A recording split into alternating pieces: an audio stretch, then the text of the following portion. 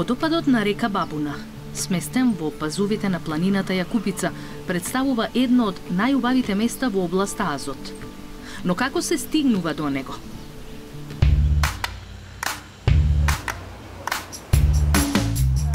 Десетици поспани извиднички очи од прв скопски извиднички одред со разбистри се со амбициозен план. Наместо дожливиот викенд да го поминат в кревет, од Нежилово ќе пешачат до водопадот на Бабуна, за да го видат тоа толку многу озборувано чудо и да научат повеќе за значењето на водата. Мал ранец со парче овошје или лесен сендвич, многу вода и облека за пресоблекување. Не се плашат ниту од дошт, ниту пак од умор, се додека покрај себе ја имаат снеже. Нивниот водич. Кајарус, сајози.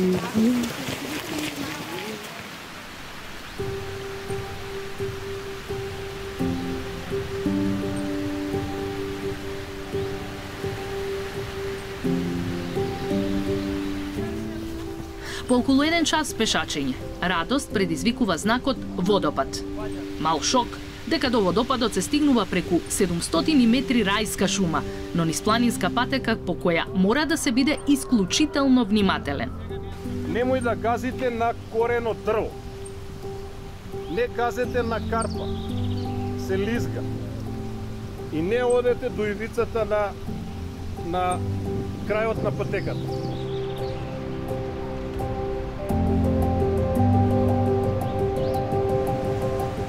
Никој не рече дека ќе биде лесно, но никој не помисли ни дека ќе биде толку убаво.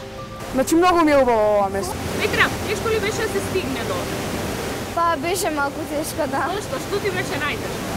Па имаше многу стрмни скали. Зошто ти е најубаво? а, природата, пред се, второ и друштвото, некако се осеќам кога сме повеќе извидници, ја придобивам позитивната енергија што е околу мене. Во одушевување, фотографии и мало разочарување за празните стомаци. До храната има уште 4,5 километри пешачење, а таму сите не чека топол грашок. Вредеше ли да се дојде до овде? До тука, да, до горе нема вреди зашто ќе јадеме грашок. Зашто? Зашто ќе јадеме грашок, а на овој труд не вреди да грашок да се. Ако сме искрени, грашокот не е баш примамлива причина да се побрза до планинарскиот дом Чеплес, каде ќе се преноќи, но најавата на мракот им дава дополнителна сила на нозете да побрзаат. Тука сме. Мислевте дека сме уморни? Јас сум тука.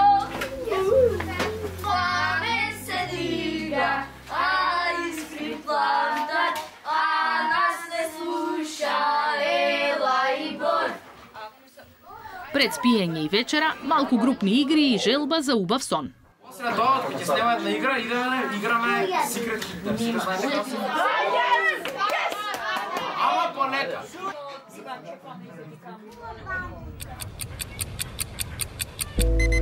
На планина денот почнува порано, а Викса има уникатен начин да го размрда секој дел од нивното тело за да се подготват за уште еден долг ден. Утринските вежби, време е за малку едукација. Дали знаеме зошто водата ни е толку значајна? Зошто ја користиме? За пиење. За живот исто така е за растење на растенија. Точно. Дали ја користиме за производство на електрична енергија? Хидроцентрали. Точно. Дали знаеме колку реки имаме кај нас?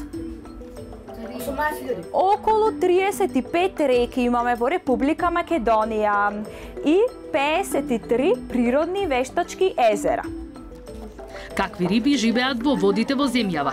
Младите извидници во групи се обидуваат да ги научат сите риби што живеат на заедничка територија со нас. Не мислам дека ова е македонска паструнка. Точно така. Што ни пишува? Македонска паструнка. Главата е долга и зашилена, устата е длабоко всечена. Бојата на телото е карактеристична, темно црвени пеги, густо расфрлени по телото, освен по грбот каде што воопшто ги нема. Два дена дружење, забава и природа. Научија ли нешто и кои се импресиите на изведниците?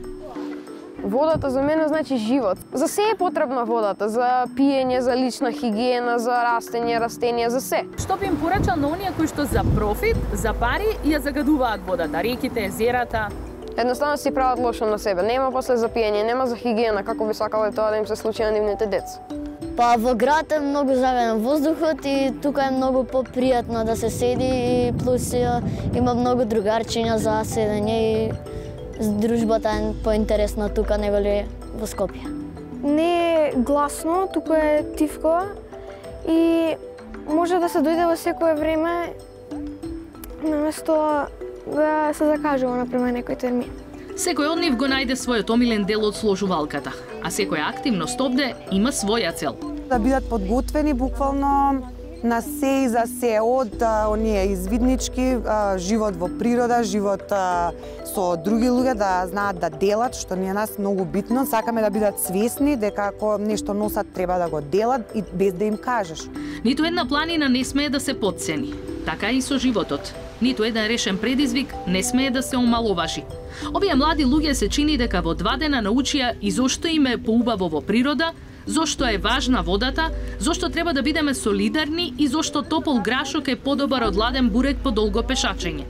До следната дестинација, со изведниците ве предизвикуваме да размислите за вредностите кои вас ве носат низ животот.